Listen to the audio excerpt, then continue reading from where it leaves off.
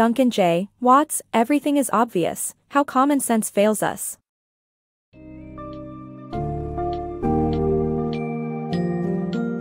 In Everything is Obvious How Common Sense Fails Us, author Duncan J. Watts reveals the surprising limitations of common sense when attempting to solve complex problems.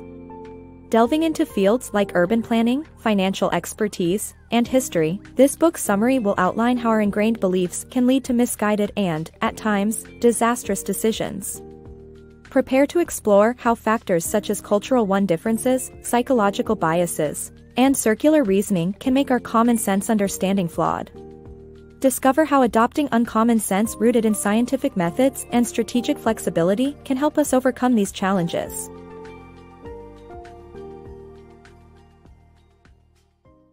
The fluidity of common sense. Common sense, a set of shared beliefs that guide our everyday actions, can vary greatly based on cultural background. While it covers essential aspects of our lives, such as etiquettes and fairness, its interpretation is not fixed. The ultimatum game, for instance, demonstrates the cultural influence on our perception of common sense. Players in Western societies typically divide the pot equally, while those in Machiguenga tribe of Peru offer 25%. The Au and Gnau tribes of Papua New Guinea propose more than 50% shares, only to see them rejected. Common sense, therefore, is not a singular truth but rather a construct shaped by one society, bringing unexpected outcomes when invoked to solve problems. Common sense pitfalls. Common sense is a practical asset when navigating daily problems, but it can be misleading when tackling more significant, societal issues. Decision makers, like politicians and urban planners, often rely on common sense, which leads to major mistakes. For instance, the urban planners of the Robert Taylor homes constructed public housing based on supposedly improving resident socioeconomic status, but their assumptions proved inadequate. The complex developed into a poverty-stricken and gang-ridden area instead. We often approach societal matters with intuition because of our personal experiences and immersion in society. However, this predisposes us to flaws in our decision-making processes. It's crucial to recognize that adopting evidence-based approaches, as we practice in the physical world, can be more fruitful when addressing complex social problems. Unconscious biases shape choices. Often, people unknowingly follow the default choices made available to them, allowing psychological factors to sway their decision-making process. Prime examples of such influences include priming, which uses stimuli to affect an individual's actions, and anchoring, which establishes an arbitrary reference point to manipulate the person's estimates. These biases cloud our judgments, making us assume that we're acting rationally or basing decisions on common sense. However, these assumptions can lead to misinterpretations of others' behavior, as we don't realize how profoundly such biases impact our choices. Recognizing these unconscious influences allows us to make better informed decisions and not fall prey to psychological manipulation. Mystifying Mona Lisa's fame. The Mona Lisa, a prominent artwork in Western culture, has been the subject of numerous debates. Often, our reasoning about its significance tends to be circular, a logical fallacy where the conclusion justifies itself. A better explanation for the painting's fame and enduring popularity can be found in the concept of cumulative advantage. This phenomenon argues that once something gains initial popularity, it continues to grow more popular over time. Research demonstrates that social influence plays a pivotal role in the ratings and appreciation given to various forms of art. The eternal question remains, what makes the Mona Lisa so special? While it's undeniably captivating, aren't there other artworks equally deserving of attention? Attempting to decipher the painting's enigmatic allure often leads us down a path of circular reasoning, a logical fallacy where we end up using the conclusion to justify itself. For instance, one might argue that the Mona Lisa's importance lies in its mysteriously expressive subject or its connection to a notorious art heist. But in reality, asserting that the Mona Lisa is famous because it possesses these attributes is a reinforcement of circular reasoning. We're essentially claiming that it's famous just because it's famous. Instead of falling into this trap, an alternative explanation for the Mona Lisa's overwhelming success and popularity can be found in the concept of cumulative advantage. This theory posits that once something, like a painting, book, or song, gains initial popularity, it's likely to continue growing more popular over time. A compelling example of this phenomenon can be seen in a study conducted by the author and his colleagues. In a large-scale online experiment, participants were asked to rate their enjoyment of various songs. One group could see the number of times songs had been downloaded by previous participants, whereas the other group couldn't access this information. The results revealed that social influence, as indicated by the number of downloads, significantly impacted the participants' song ratings. Ultimately, this demonstrates how cumulative advantage and social influence contribute to the enduring fame of something, even a painting as enigmatic as the Mona Lisa. Debunking Network Influencer Myths The renowned six degrees of separation concept originated from a psychological experiment in 1967, where it took on average six connections to pass a message from one person to another. This led to the belief that networks rely on hubs or key influencers to function smoothly. However, recent experiments have challenged this view, revealing that real-life networks are more egalitarian and treat individuals more or less equally.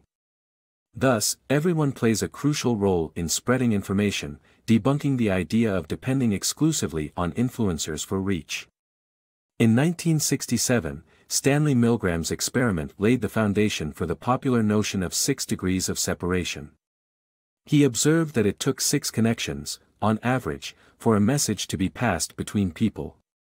Additionally, Milgram found that most messages went through one of three particular individuals. This spurred the belief that networks function effectively due to key influencers or hubs. For instance, in marketing, the focus is often on persuading well-connected individuals to use a product and hoping they will spread its popularity.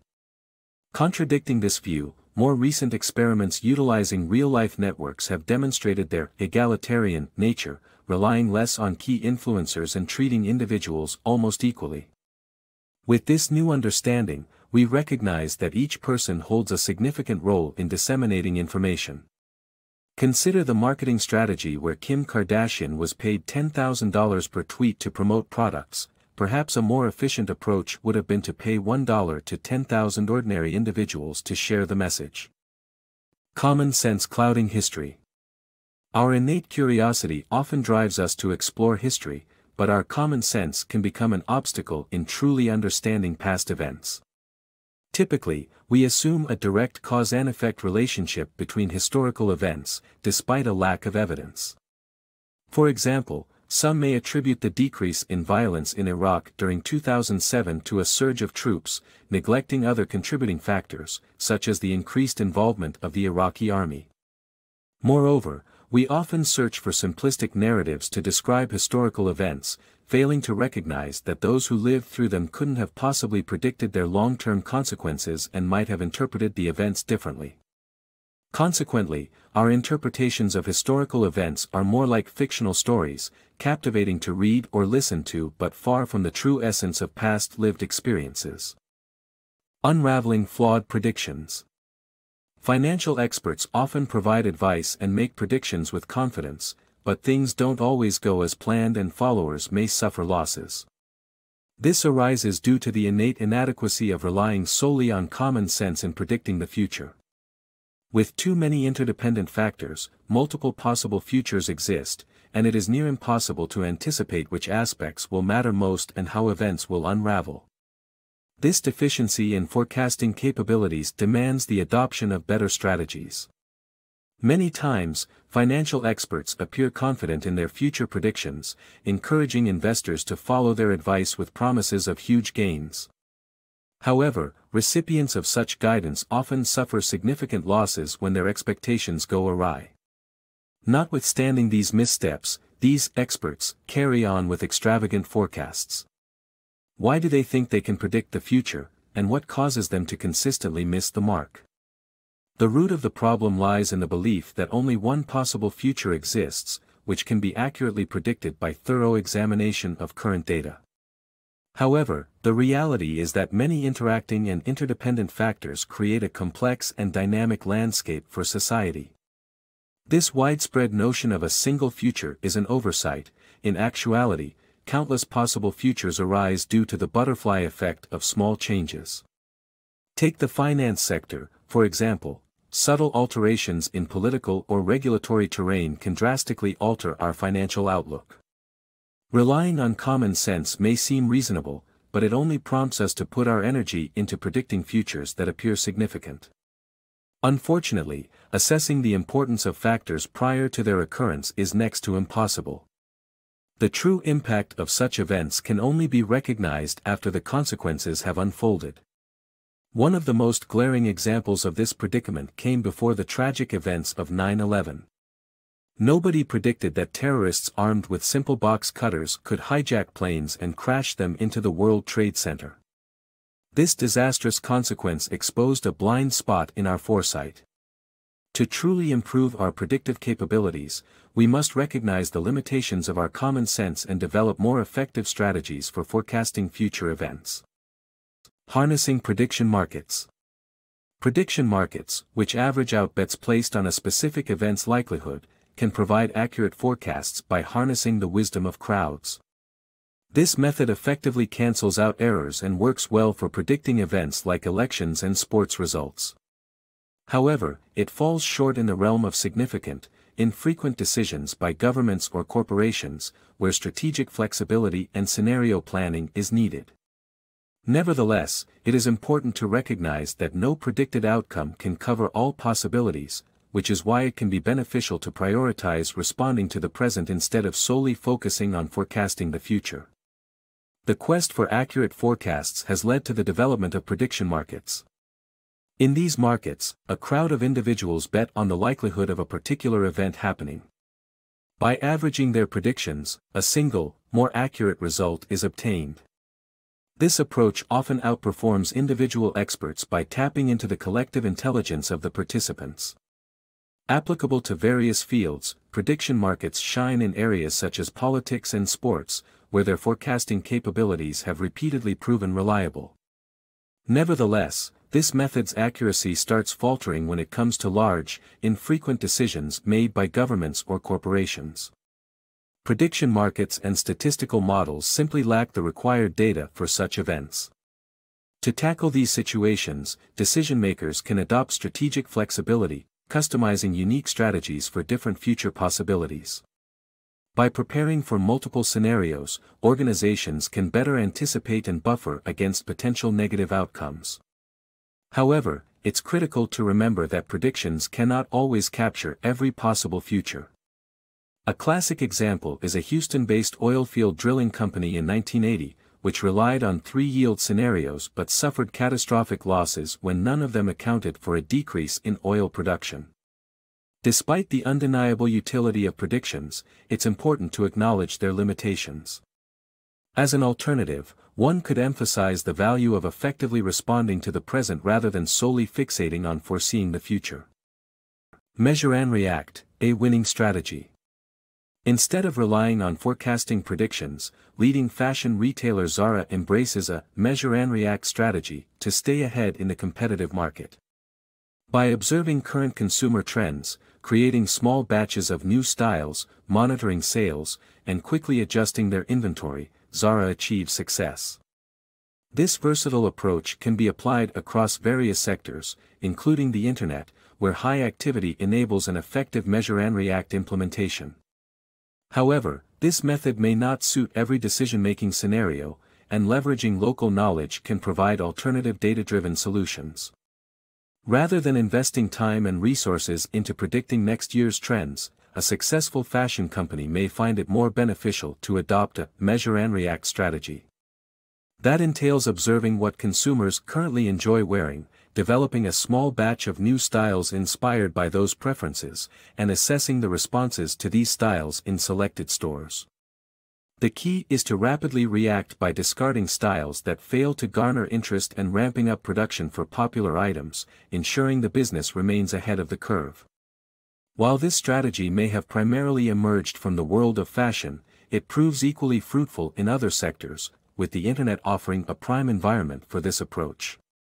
A prime example is Google and Yahoo accurately estimating the number of influenza cases by tracking search queries for terms like flu and flu shots. This method closely mirrors the statistics reported by health agencies, such as the Centers for Disease Control and Prevention. However, not all situations lend themselves to the measure and react strategy, particularly when making significant strategic policy or business decisions. In such cases, employing local knowledge becomes essential, an approach that draws on the expertise of those closest to the changes being made. For instance, when optimizing a factory assembly line, gathering insights directly from workers helps identify problems and their root causes. More importantly, these workers can offer proven solutions, thereby providing a scientific foundation for decision-making processes. Luck's role in life's outcome the way we perceive fairness is often influenced by the resulting outcome of events, usually driven by random luck rather than intentions. Our lives can change drastically due to a myriad of seemingly chance encounters and opportunities, which in turn shape our societal standing. Such significant influence of luck on our success and position challenges our common sense understanding of justice and forces us to explore ways of creating a fairer society. When a drowsy driver accidentally causes harm, society's response usually hinges on the severity of the consequences. If the outcome is grave, such as the death of a child, the driver faces condemnation and imprisonment. However, if nothing happens, the same driver would befall a far milder judgment. This proves that our concept of fairness is heavily influenced by our knowledge of outcomes, which are often determined by luck.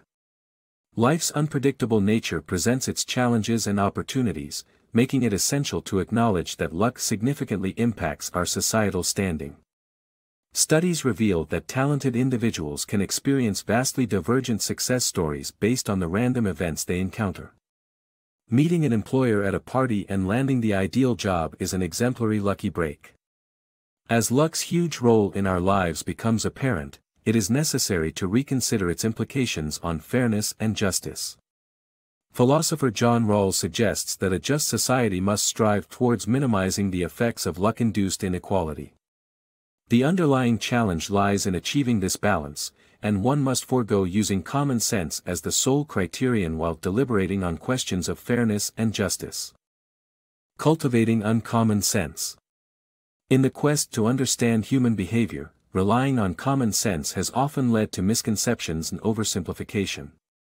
While grand social theories fall short, the advent of widespread online activity provides immense data sources for a more scientific approach. Through this information, we can observe and measure large group and societal behaviors in real time. By applying uncommon sense rooted in scientific methods, we can better decipher the complex influences behind phenomena like hit songs in the music market. To effectively replace common sense reasoning, we must continually employ innovative techniques and maintain vigilance in our pursuit of deeper understanding.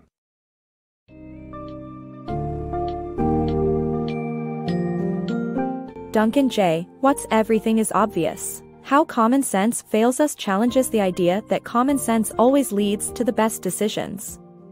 By examining how cultural differences, cognitive biases, and predetermined narratives can cloud our judgment, we understand that a shift towards leveraging scientific methods and strategic flexibility is crucial. While our common sense might be helpful in our day-to-day -day life, it is important to recognize its shortcomings, Rely on evidence-based approaches, and learn to harness the wisdom of crowds to predict or react to the ever-evolving world.